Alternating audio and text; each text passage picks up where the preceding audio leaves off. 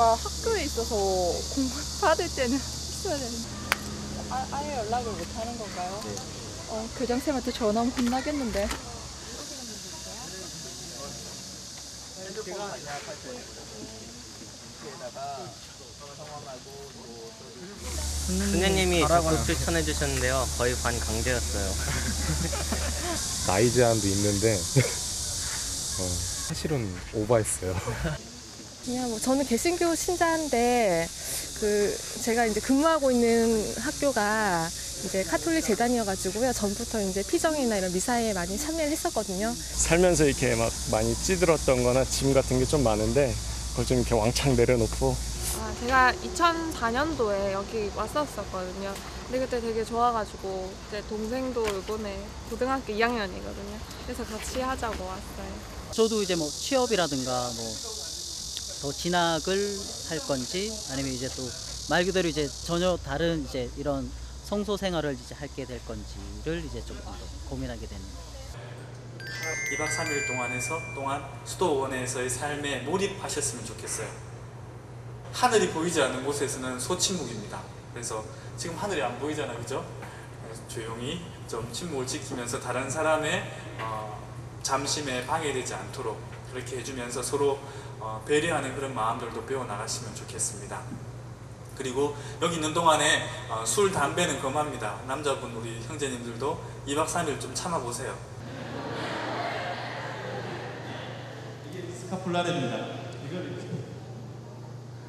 그 다음에 띠가 있어요. 띠. 띠는 혹시 배 나오는 사람들 위해서 찍찍이로 만들어놨어요.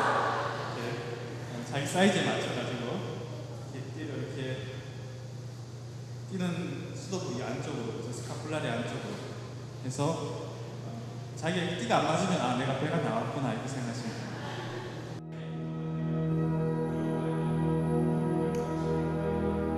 수도원 입회할 때 어, 이- 정식으로 입회식 할때 어, 자기 자신을 상징하는 의미에서 초를 봉헌합니다. 재단에 이 초가 이제 자기 자신을 태우면서 세상을 밝히잖아요.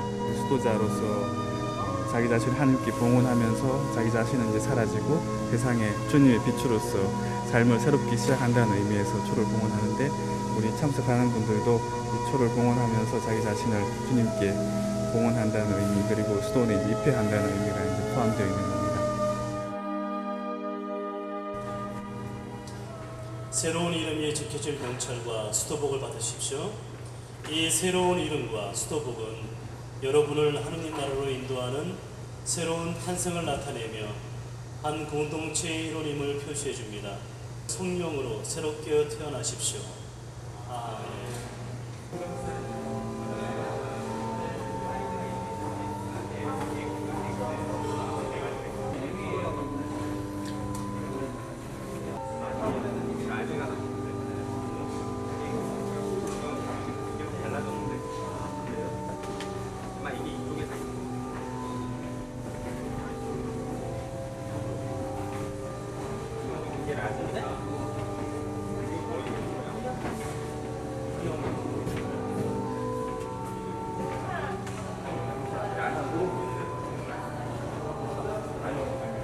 아, 수도사님께서 10년 걸치셔서 입으신 거를 한 시간 안에 입으니까는 좀 그래도 좀 마음이 좀 새로워지는 그런 시간이 된 것 같아요. 그냥 내가 하얘진 느낌? 불편한 듯 하지만 또 금세 적응되고 좋아요. 네 그리고 제가 언제 이렇게 앙드레 김다린 되는 걸 입어보겠어요. 네.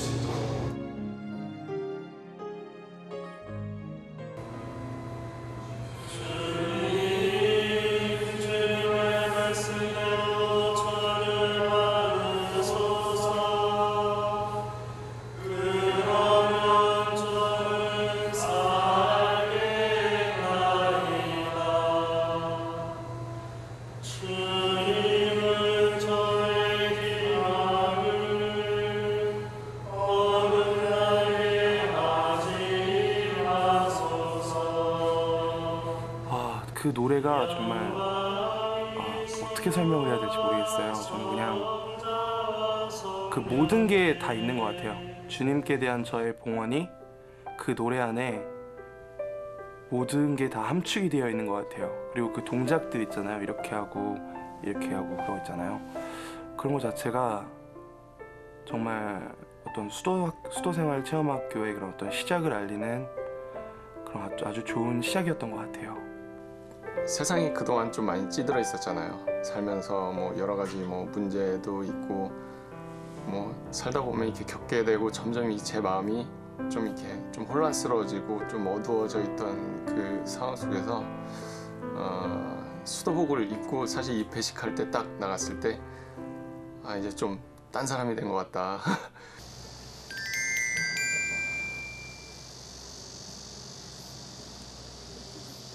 자, 서로 편안하게 기대입니다.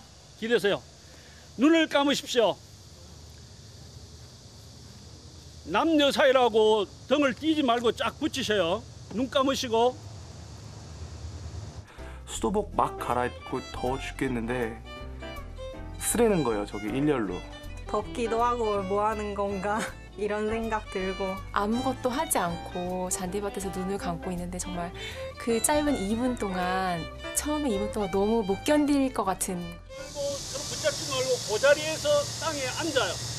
등 뛰지 말고 등 뛰지 말고 먼저 앉는 게 중요한 게 아니고 안 뛰고 앉는 게 제일 중요해요. 앉아요.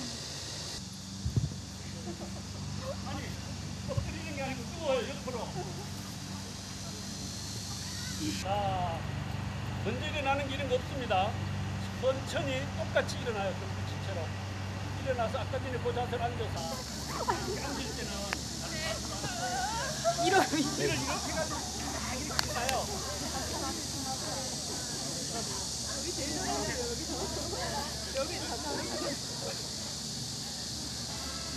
그러니까 저는 이쪽으로 가려고 그러고 그 친구는 이쪽으로 가려고 그러고 앞으로 가는데 등을 떨어져서 이 사람이 어디로 갔나 이렇게 막 찾게 됐는데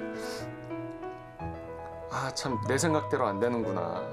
기대라고 했으면 기댔어야 됐는데 제가 제 뜻대로 누굴 배려한다고 이렇게 살짝 되고 저 혼자 힘들고 아 이분 좀 좀 기대시지 뭐 하시는 거야 내가 편하게 해주겠다는데 왜 안 하시나 막 이런 생각도 많이 하고 그럼으로써 제 가슴 속에서 이렇게 굉장히 미움이 이렇게 솟아나기 시작한 것 같아요.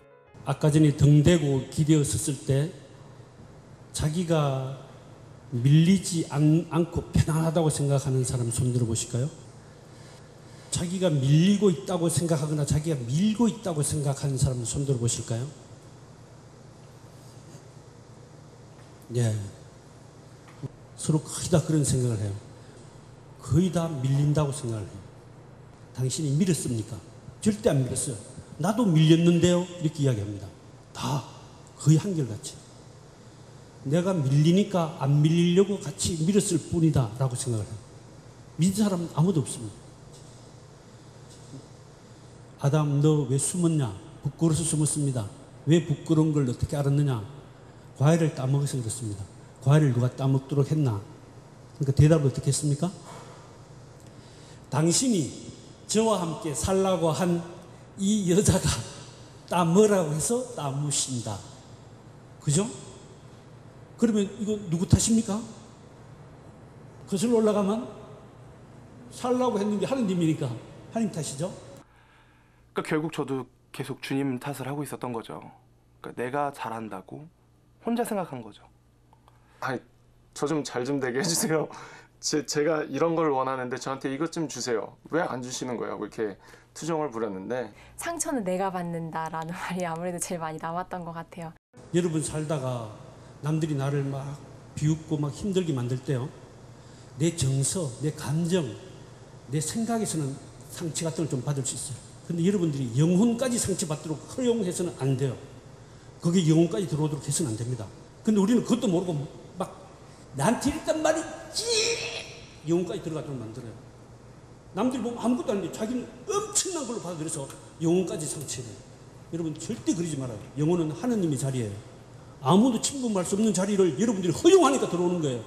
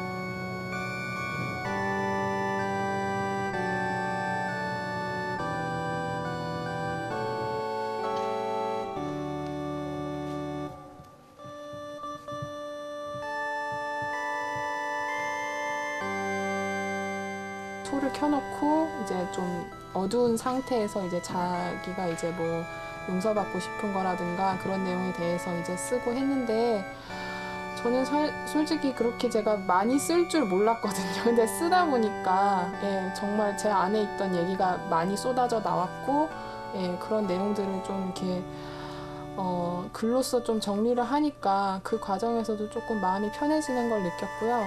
고의실 앞에 그렇게 의자 딱 하나 있고 초가 있는데 그런 딱 그 상황에 내가 그 삶을 마감하고 그 천국에 올라가기 전에 그런 심판받는 기분 있잖아요. 항상 고해 성사를 하러 가면은 하느님께 용서를 받으러 가는 거잖아요. 하느님께 용서를 받았는데도 내가 나를 용서를 잘 못할 때 그게 네 그게 항상 걸렸어요.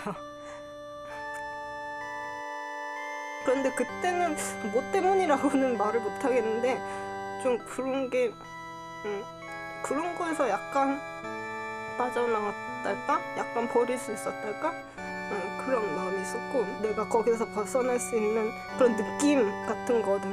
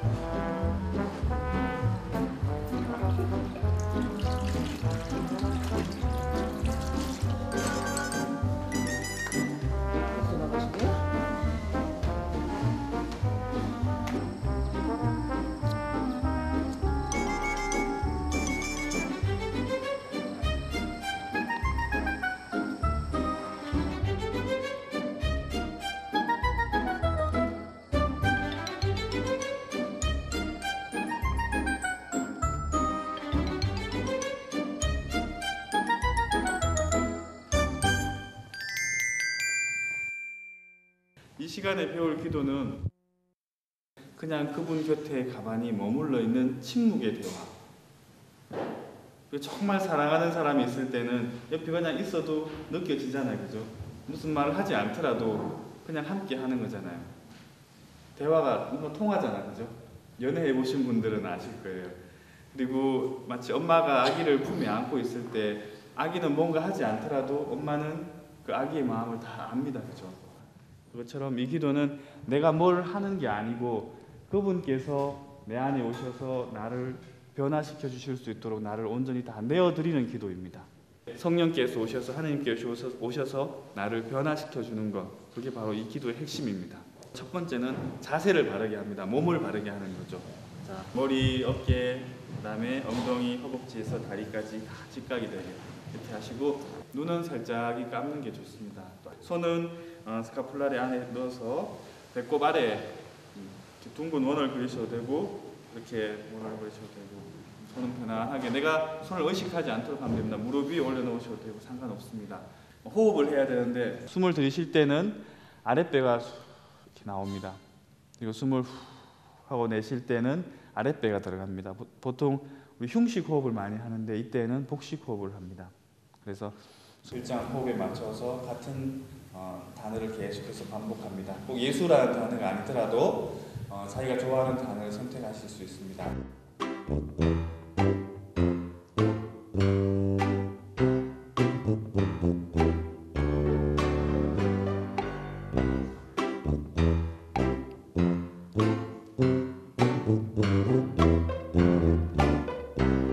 집중하는 게 예, 한 8분 했다고 하는데 조금 한, 한 4분 지나니까 또 잡념이 생기고 예.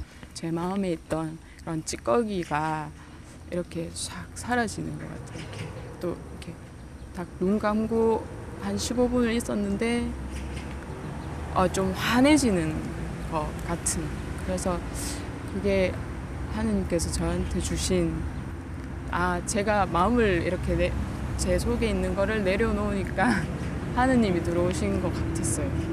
항상 제가 기도를 하게 되면 성우경을 듣고 뭐 주모경 하고 그 다음에 이제 하게 되는 것이 이제 하느님한테 이제 투정 부리듯이 예, 청원하는 기도만 하는 것 같고 근데 이제 뭔가 이제 기도가 그, 그게 다가 아닌 것 같다라는 생각은 있는데 근데 뭐 어디 가서 뭐 이렇게 배울 수도 없는 거고 솔직히 그래서 이제 수도원에 가면은 혹시 뭔가 다른 게 있지 않을까라고 생각을 했는데 어, 나한테 진짜 필요한 게 막 말 많이 하고 그런 게 아니라 어, 이렇게 하느님 느끼는 게 정말 필요했던 것 같다.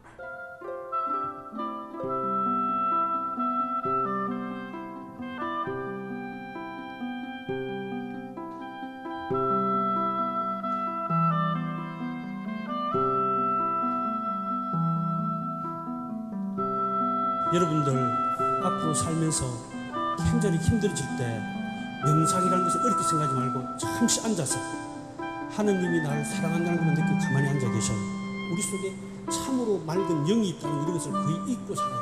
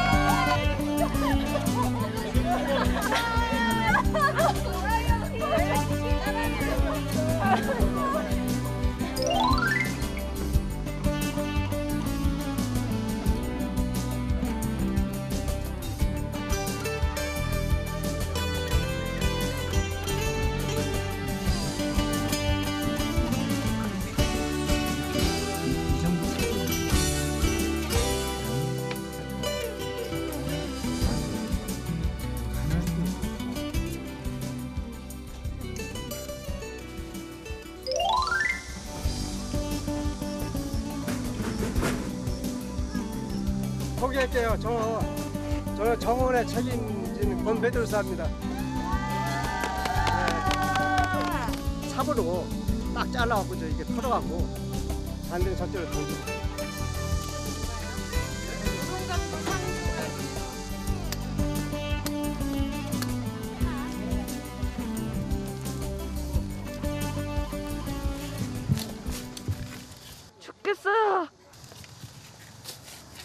너무 더워서 아, 갈만해요. 삽질 처음 해보는데 나름대로 할만한 것 같아요.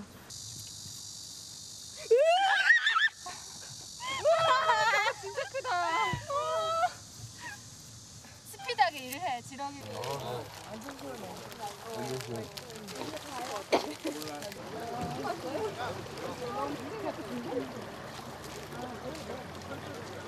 저 처음 해봐서 서울에서 태어나서 계속 거기서 자라가지고 이런 거 처음 해봤는데 지금 우렁이 알도 보고 재밌죠? 네. 딱내 스타일이에요. 네. 아주 내 스타일. 네. 힘든데 하고 나니까 보람 있어요. 농상 보니까. 일하면서 하느님을 더 생각할 수 있는 그런 계기가 된 것 같고 제가 지금 하고 있는 게 실이 엉- 많이 엉켜 있어가지고 풀고 있는 작업인데 어, 제 마음도 이렇게 어, 현실에서 살아가면서 많이 엉켜 있다가 이렇게 일하는 시간을 가짐으로써 한번 풀어보는 시간을 가지는 게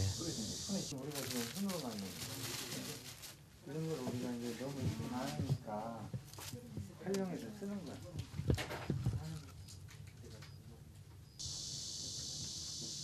그냥 대충 대충.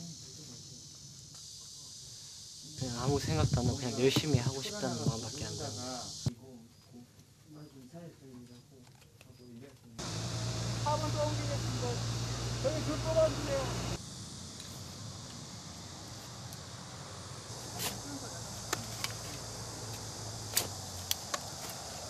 이렇게 힘들게 일하니까 별 다른 잡생각이 없이 그냥 무상무념 이런 거 이거 일만 열심히 하다 보면 정말 이번 주제처럼 마음의 평화를 제가 얻어갈 수 있지 않을까요? 근데 이제 아무 생각 없이 이제 일을 하고 있는데 한 지원자가 한 참여자가 이런 얘기를 하더라고요. 내가 잡초를 뽑는데 그 잡초를 내 마음속에 있는 분심이라고 생각을 하고 마치 내가 지금 이 잡초를 뽑듯이 하느님께서 내 마음에 있는 이 분심을 뽑아주시기를 청하면서 노동하는 내내 기도를 드리면서 일을 했다라는 얘기를 하더라고요. 근데 그 얘기를 듣고 아 이 노동을 통해서 하나님을 만난다는 게 정말 그런 거구나 일상을 통해서 하나님을 만난다는 베네딕토 수도원들이 삶이 이제 그런 것을 뜻하나 보다.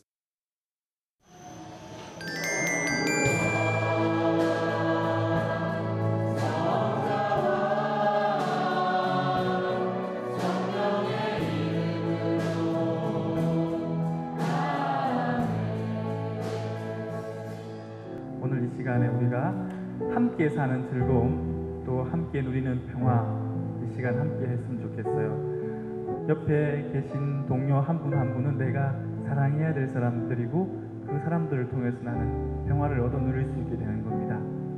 나를 넘어서 너에게로 또 너를 넘어서 하나님께로 갈 수 있도록 너무너무 아름다운 밤인 것 같아요. 네.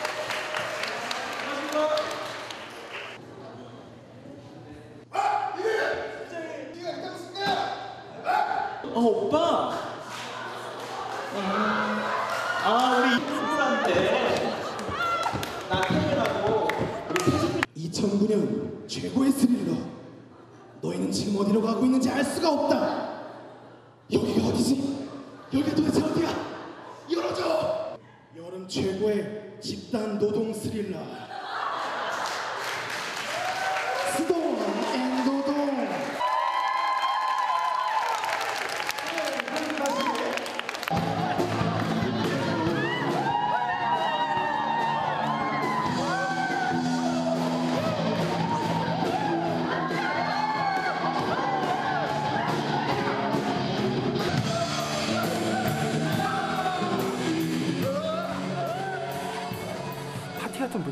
분위기였잖아요, 사실. 그래서 이제 왜 보시는 분들이나 혹시 어, 거기서 가서 그때만 뭐 딱 보신 분들은 아, 쟤네들 어떻게 저렇게 마구잡이로 놀 수가 있냐. 수도생활 체험학교에 와서 그렇게 생각을 하실 수 있는데 모든 사람들이 다 하나가 되어서 이렇게 빙글빙글 도는 걸 보면서 온 이유야 어떻든 간에 우리 수도 생활에서 주려고 하는 그 평화가 그 평화를 찾는 갈구하는 마음이 모두의 마음에 똑같이 열정으로 있구나라는 것을 확인했던 것 같아요.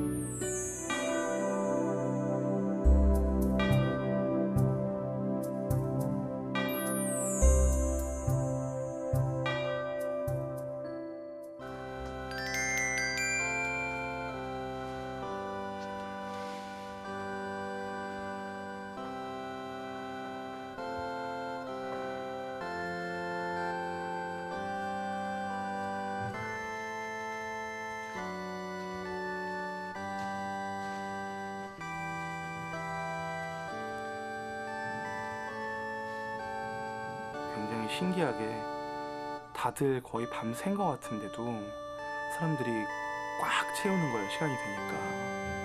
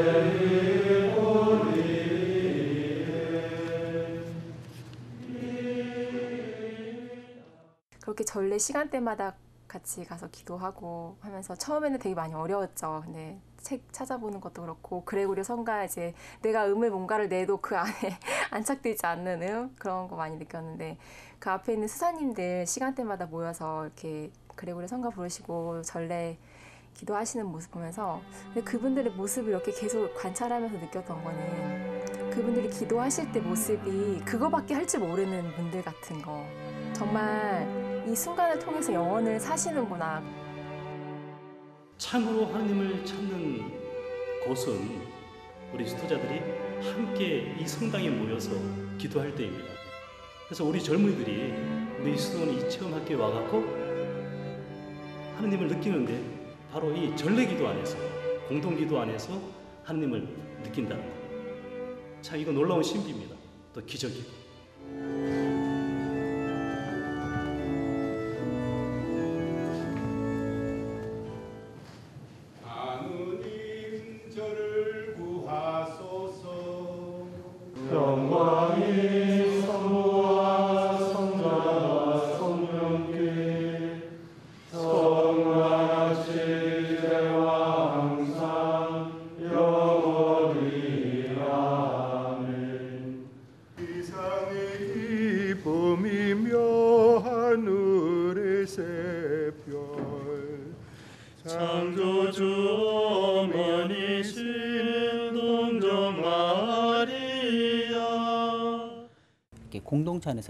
같이 기도를 드린다는 느낌이 이렇게 좋았고 그다음에 저한테는 이렇게 새로운 체험이었어요. 일단 되게 영적인 느낌이 되게 좋은 것 같아요. 특히나 노래 할 때, 노래 들을 때.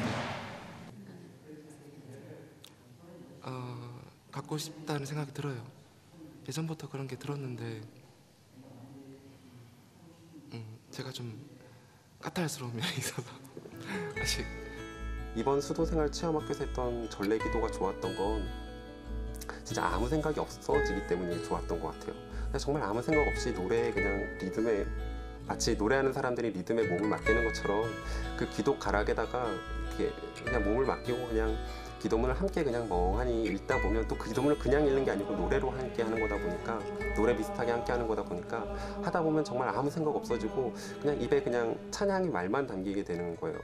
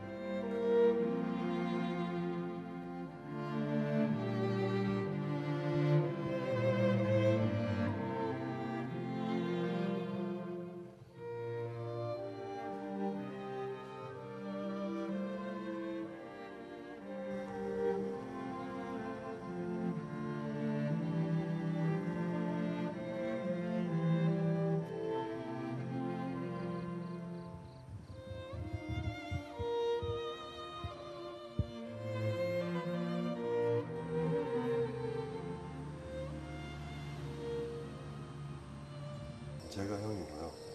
네, 제가 동생입니다. 동생도 이제 군대 갔다 오고 직장 생활 이제 하던 이제 하려고 이제 한 시기라서 아우 내 이때 오면은 좀 좋지 않겠냐라는 생각. 네, 그러다가 이제 그냥 동생이니까 꼬셔서 맞죠. 네, 그래도 지금 비정도 어떻게 보면 또 반강제적으로 끌려왔지만은 한편으로는 또 고맙다는 생각도 하고 있고요. 제일 크게 바랬던 게 깨달음이었거든요. 그러니까 내가 살아가는 이유 그리고 무엇을 위해서 내가 또 살아가야 할 건지 나를 이곳에 보낸 목적도 틀림없이 있을 거라 생각이 들거든요. 앞으로 이 피정을 통해서 일시적인 그런 평화를 느끼기보다는 이제 오랫동안 평화라는 그런 걸좀 각인하고 싶어요.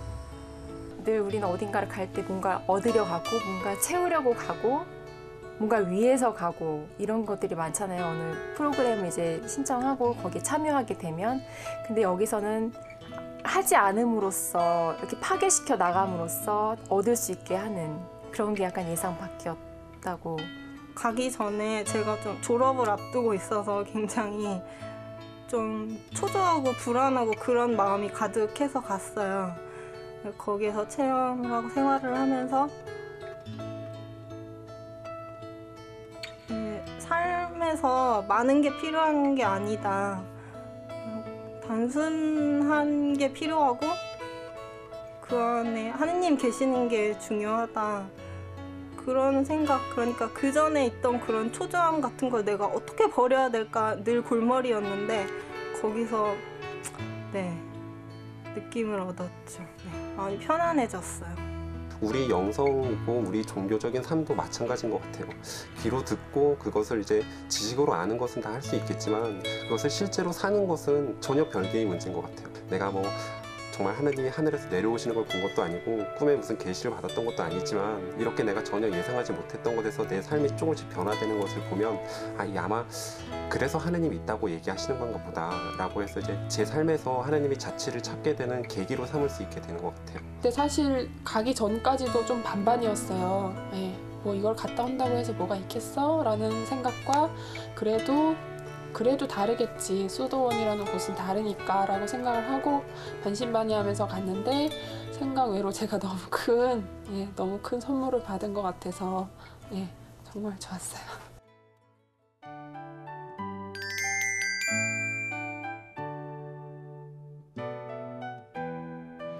저희가 짧은 시간이나마 당신의 집에서 수도 생활을 체험하였습니다. 저희가 받은 당신께로부터 큰 사랑을 이웃들과 나누며 또 이웃 안에서 당신의 되신 평화가 더욱더 성장해 나갈 수 있는 좋은 나가게 하는 좋은 도구가 될 수 있도록 도와주소서. 우리 주 그리스도를 통하여 이나이다. 저도 생각 그 수도원 수도 성수에 대해서 생각을 해본 적이. 과연 내가 이렇게 살 수 있을까 라는 생각을 가지고 있었는데 이번에 한번 해본 거잖아요. 아, 정말 숨 막히겠다. 자유라고 찾아볼 수가 없다. 이렇게 생각을 했는데 오늘 아침 기도하는데 제가 혼자 앉아서 이렇게 조용히 기도하면서 아, 이 속에 평화가 있구나라는 생각이 드는 거예요.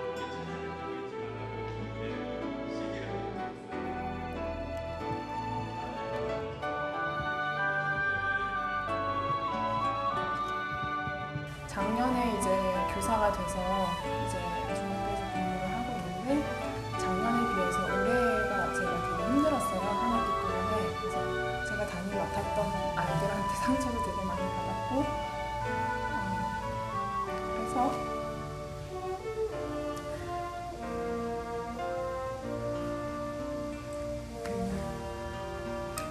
믿음은 약하지만 희생을 통해서 사실은 교사라는 직업을 떠나서 저, 저 인간 자체의 그런 삶을 좀 되돌아보고 싶어서 그렇게 참가를 했는데 기도 시간에 저도 모르게 그 저, 저한테 상처를 줬던 아이들을 위해서 또 기도를 하고 있는 모습을 보면서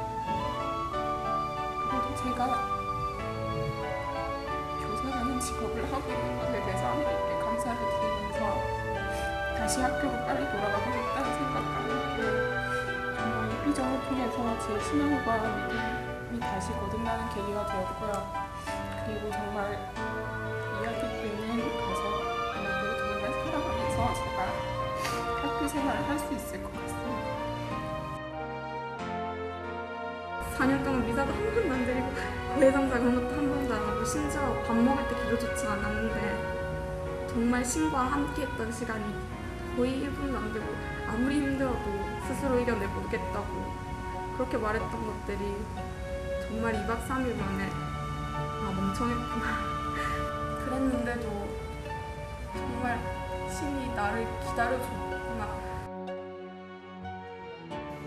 하나님 존재해요. 아, 네. 네. 음, 여기 오니까 정말 어제 지속적으로 뭐 10분 이상 들진 않았지만은 순간 하나님이 계시는구나 이런 생각이 들었어요. 음, 그냥 이 공간을 이렇게 딱 이렇게 감사 알아주신다는 느낌을 받았습니다. 음, 지금은 막 이렇게 되게 정신 없을 수 있는데 다시 집에 가서 또 여러 가지 생각들, 감정들 막 생각날 거예요. 그런 거 우리 잘 이렇게 담아두고 이렇게 힘들 때마다 이렇게 좀 꺼내 봤으면 싶어요. 그래서 그냥 배운 거 묵혀두시지 마시고 집에 가서 한 번씩 다 이렇게 묵상 같은 것도 아침에 어, 막 혼란스럽고 그럴 때 조용히 앉아서 정말 하느님 곁에서 그분 그분이 주시는 평화를 좀 누렸으면 싶고 다시 우리 옆에 있는 친구들에게도 우리의 평화를 하나씩 하나씩 이렇게 나누어 주었으면 합니다.